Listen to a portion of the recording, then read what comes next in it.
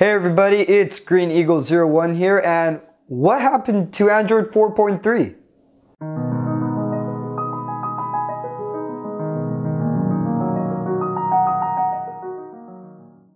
Okay, so everybody was waiting and waiting for Google I/O to come. And then it came and then everybody's so psyched up because they want to see all the new Nexus devices and they want to see the new Android version, which would either be Android 4.3 Jelly Bean or Android 5.0 Key Lime Pie. Nobody knew exactly what was going to be, but we were expecting something big. And then what happened? Nothing. So, what was Google thinking? Well, they did release a new version of Google Maps and they released uh, a new music service, which is supposedly going to compete with Spotify. And they did, you know, upgrade some parts of, well, actually a lot of Google Plus. And other than that, oh, and they released an S4 that had pure vanilla Android. Like, why didn't they release the Nexus? Anyways, uh, let's get to the subject now.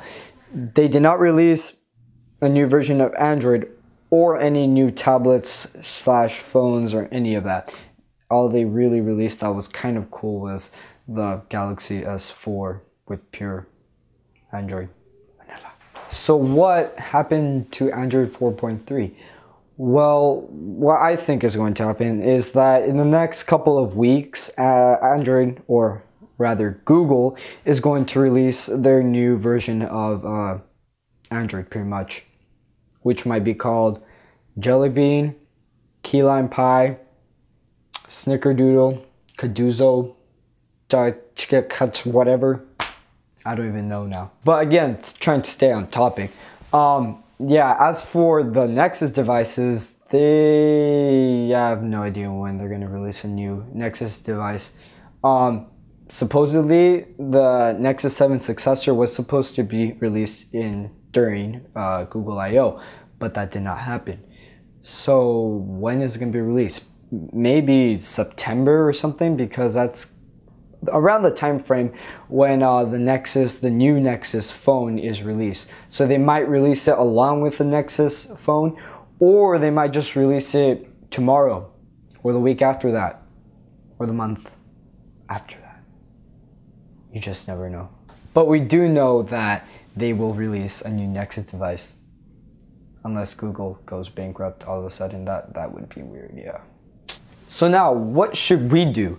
Well, personally, I think we should continue enjoying our beautiful Android uh, 4.2 Jelly Bean experience and until uh, the next version comes.